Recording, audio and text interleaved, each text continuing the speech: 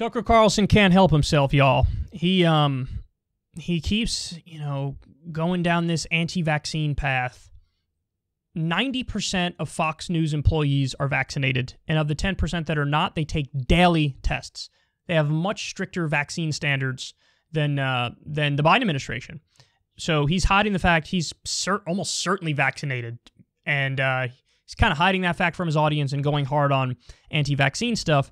Well, now he has a doozy of a claim about what's going on with vaccine mandates in the military. The point of mandatory vaccination is to identify the sincere Christians in the ranks, the free thinkers, the men with high testosterone levels, and anyone else who does not love Joe Biden and make them leave immediately. It's a takeover of the U.S. military. What? What? So the claim is Biden wants a bunch of pro Biden soy boys in the military? How does that even make sense? Wouldn't, in Tucker's fantasy land, wouldn't it work the other way that, you know, you'd want the Trump people to be in the military because then they could be cannon fodder?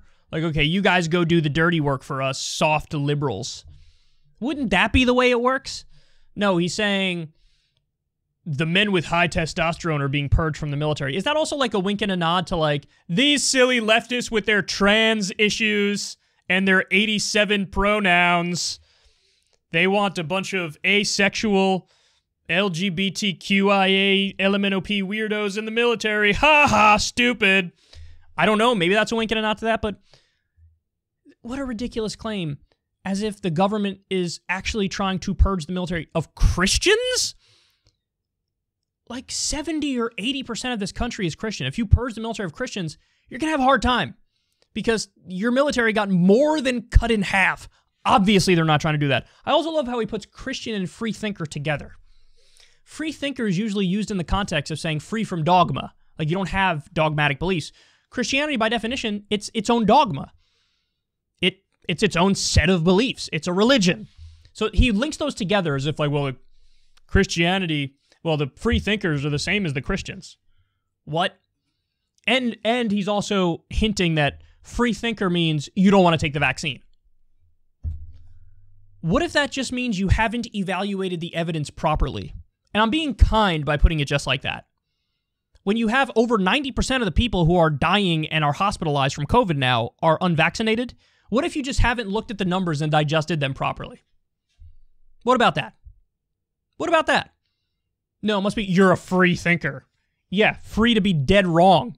Now, by the way, I will say this: I don't know the way it works for the military. I don't know if it's um if they have a policy of you must get vaccinated or test. But I will say this: if it is solely a vaccine mandate, I would oppose that because you can just test instead. I like what Biden did with businesses where it's 100 employees or more. You have to get vaccinated or test weekly. I like that. I like giving people that little out I like the default being get vaccinated, but if you really are committed against it, you could take the test. I like that. So if if they, it's a pure vaccine mandate in the sense that they don't offer tests as an out, then I would be against it. I don't know what it is in the military though. Maybe they do have the testing, maybe they don't. But if they don't have the testing, I would be against it. But anyway, I mean, what a ridiculous.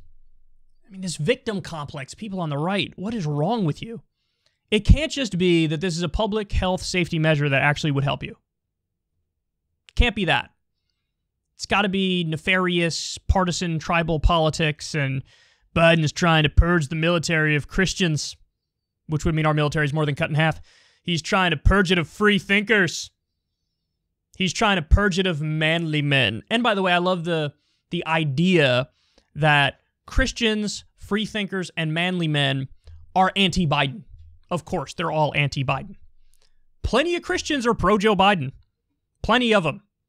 You know, his approval rating usually hovers between 42% and 52%. So that's plenty of Christians in there like Joe Biden, plenty of free thinkers like Joe Biden, plenty of manly men like Joe Biden. Again, it's these lazy tropes and stereotypes. Like the manly men are all macho and love Trump and are wrong about vaccine efficacy.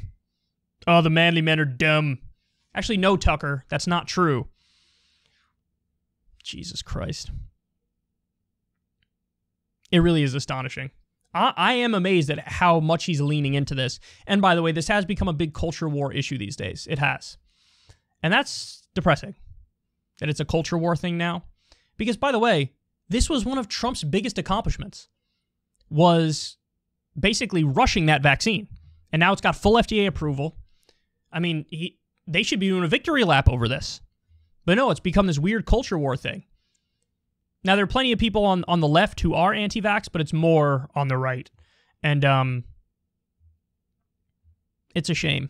I really think the policy of either get the vaccine or just get tested, that's a good policy. I like it.